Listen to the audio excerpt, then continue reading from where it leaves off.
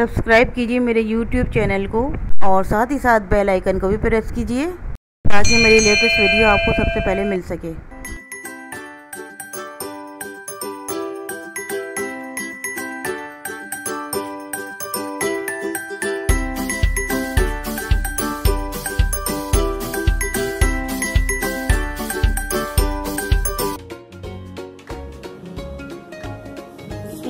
अल्लाम मैं हूँ रुखसाना अख्तर और आप सब लोग कैसे हैं? इंशाल्लाह खैरियत से होंगे।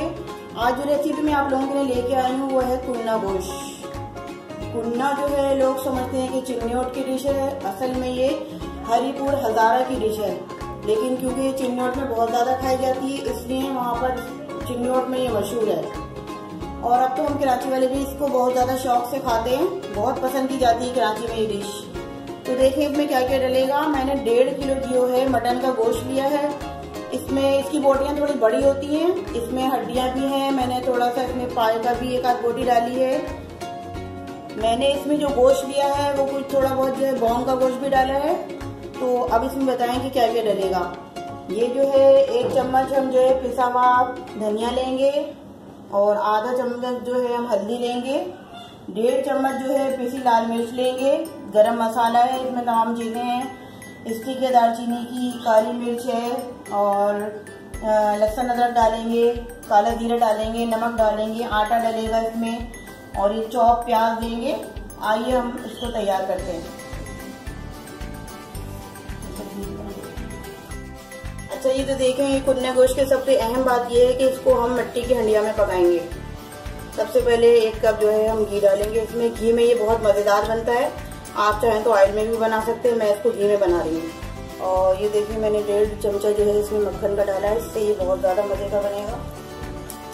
थोड़ा सा इसमें हम गरम मसाला ऐड करेंगे। दालचीनी की स्टिक है, काली मिर्च है, लौंग है। ये हम इसमें डालेंगे पहले थोड़ा सा इसको। इसके साथ मिक्स करेंगे थोड़ा। फ्लेम करेंगे।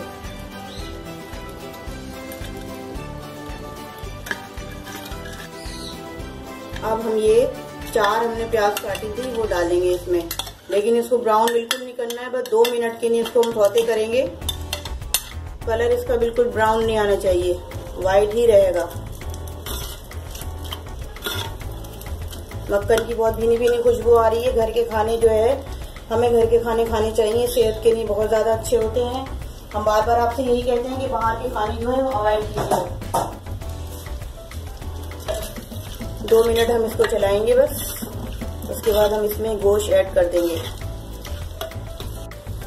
अच्छा जी, अब इसमें हम गोश्त ऐड करेंगे। बिस्मिल्लाहिर्रहमानिर्रहीम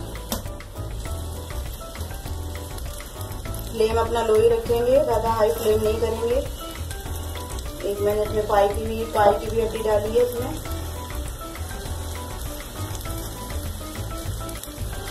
देखिए इस तरह करके हम सारा गोश्त ऐसा ऐसा करके, गोश्त जब थोड़ा सा लाइट हो जाएगा, तब तक हम इसको दो से तीन मिनट के लिए बस चलाएँगे, ज़्यादा भूनेंगे नहीं। भुनने को ज़्यादा भूनते नहीं हैं।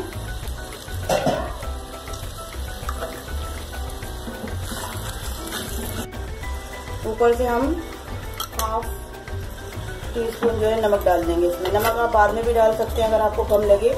मैंने इसमें अभी हाफ़ टी स्पून डाला है। तो चलिए इसको दो से तीन मिनट के लिए बंद करते हैं।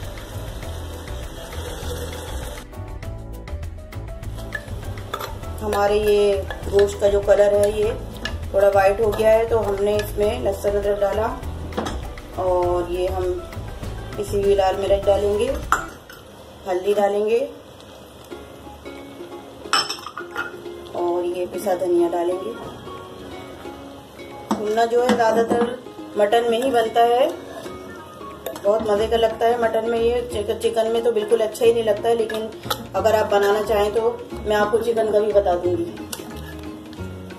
नीचे कमेंट्स में बताइएगा कि वह कौन कौन चिकन का कुन्ना खाना चाहता है तो फिर मैं आपको चिकन का भी बता दूँगी। उसके बाद हम एक से डेढ़ लीटर जो है इसमें पानी डालेंगे और इसको एक से डेढ़ घंटे के लिए रख के छोड़ देंगे। आराम से फिर आप अपने काम वाम करते रहिए जो आपको करना है। क्योंकि अब हमारा ये जो मटन है ना, ये आराम से गलता रहेगा और अपना मज़ा जो है लेता रहेगा। बहुत मज़े का जब ये तैयार हो जाएगा, फिर हम इसको इंशाल्लाह ताला एक से डेढ़ घंटे के बाद खोलेंगे।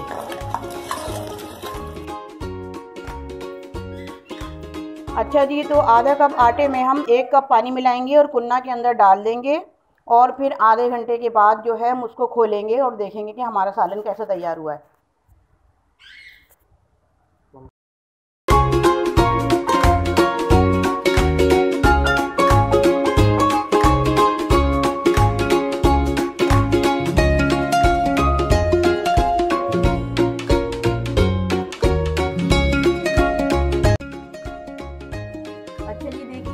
फाइनली माशाल्लाह से हमारा जो कुंदा है बहुत मज़ेदार तैयार हो गया है। और आप लोग समझते हैं कि बहुत मुश्किल है बहुत आसान रेसिपी है। आप यकीनन बनाएँगे तो बहुत ज़्यादा मज़े की आपको लगेगी।